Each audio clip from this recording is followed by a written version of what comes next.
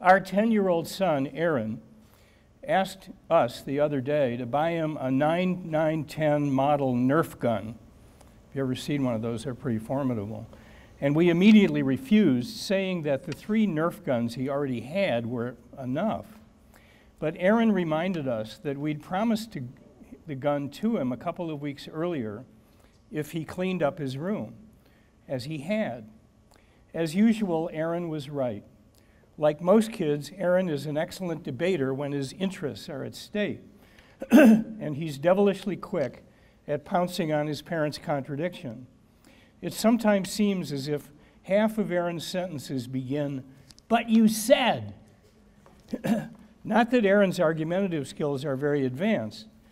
He seems only recently to have reached the developmental stage of realizing that other minds see the world differently from his, and, and that when he's asked why he likes something, because I like it is not a helpful answer.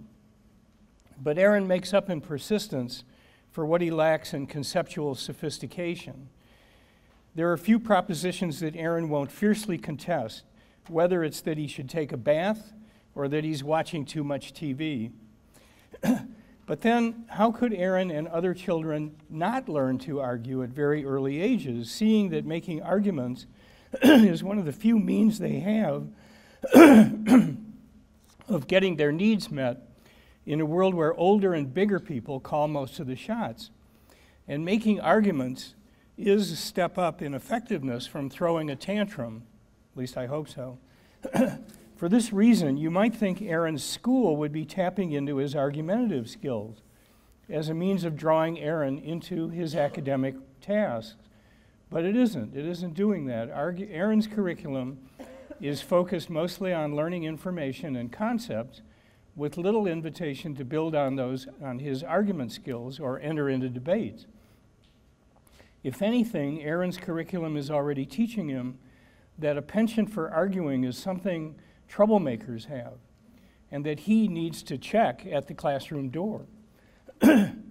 I suspect that if we looked at high school students who are failing in school and who will soon drop out, we would find that many of those students who are apathetic in their classrooms are smart and articulate arguers in the schoolyard and the playground.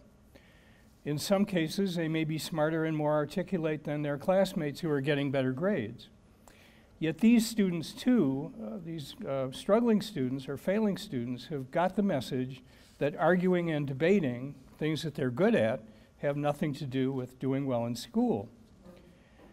Now, of course, educators could be forgiven if they worry that arguing and debating are dangerously close to fighting and bullying, things that many boys and some girls are already all too prone to do.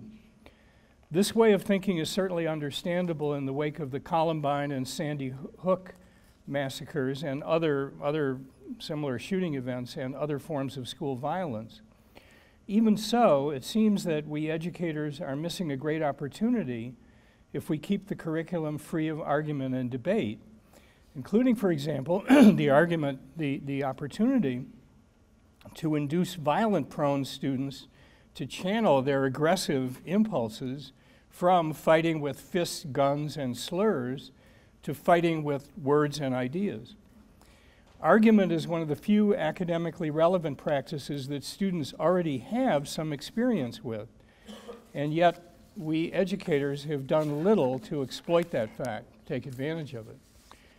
For these reasons, the new Common Core standards seem very promising to me since they present argument, very rightly in my view, as the most important skill for, quote, college and career readiness, central criterion in the Common Core. And they mandate that students should demonstrate argument skills at appropriate levels all the way from pre-K and kindergarten to the senior year in high school.